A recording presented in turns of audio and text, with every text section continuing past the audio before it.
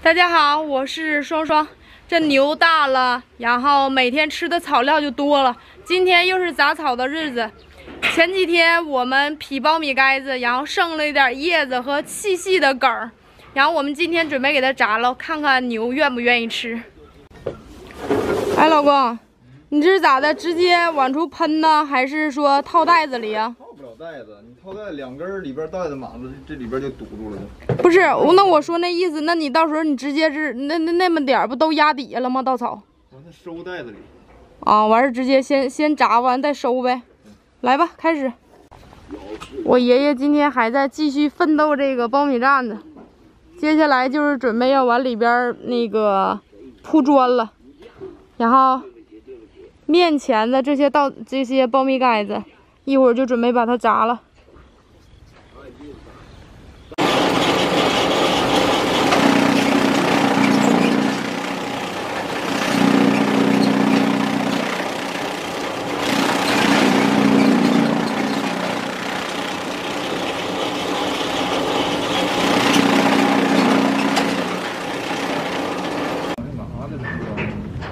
刚炸了一点儿就出状况了，这里边好像绞了一个玉米棒，然后皮带绞折了。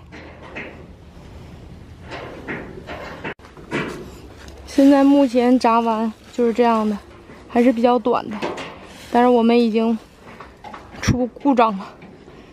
江南现在在紧急的修理，太不容易了，外边已经嗯拉了整整的一大车草。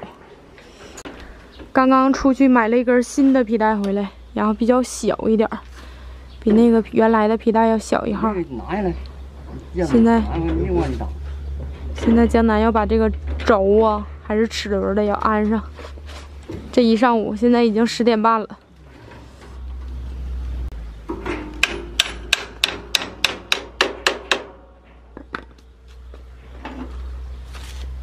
这咋这些齿轮啊？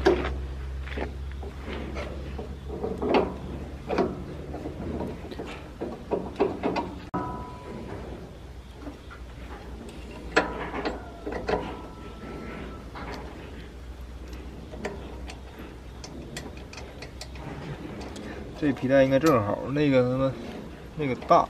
这个皮带应该正好的。那他说，他说一看咱家，我一看给他看那个，他就说咱家这是那个宏宇的，他家是四个刀的，人全用的是幺零六七。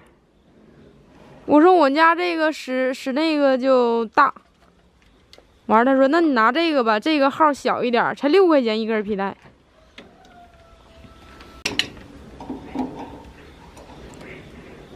希望一会儿安上能好用！一会儿不行拿稻草扎吧，不行这点玩意儿别扎了。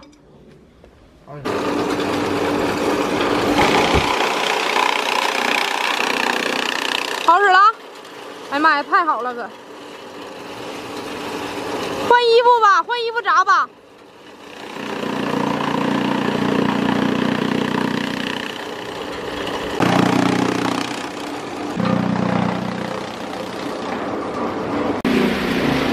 不容易朋友们，这个炸草机刚修好，我这一上午啥也没干，我跑台安县跑了三趟，送孩子一趟，去呃给孩子签字，然后一趟买皮带一趟，这一上午折腾了三趟，现在赶紧的去呃做点饭，然后今天中午找一点吃。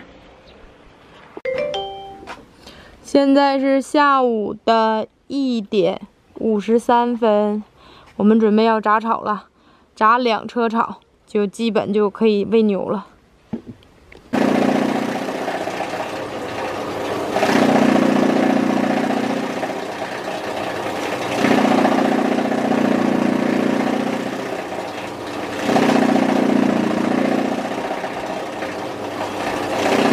现在第一车草已经炸完了，这地下一片狼藉啊。然后江南在那边搓草呢。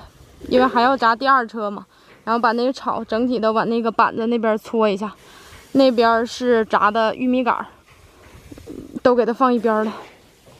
就今儿中午，现在是下午的两点十六分，好热呀！现在已经三点三十六了，拌料喂牛吧。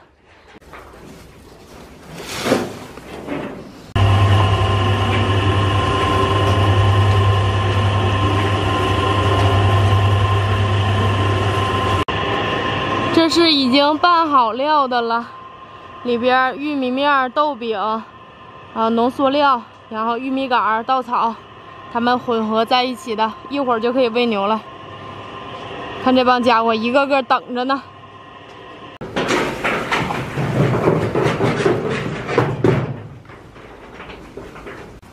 他们吃的还可以啊。还行，你看吃多长时间了？现在四点添完的嘛。这大小伙子们吃着青草，是不是就跟吃肉似的？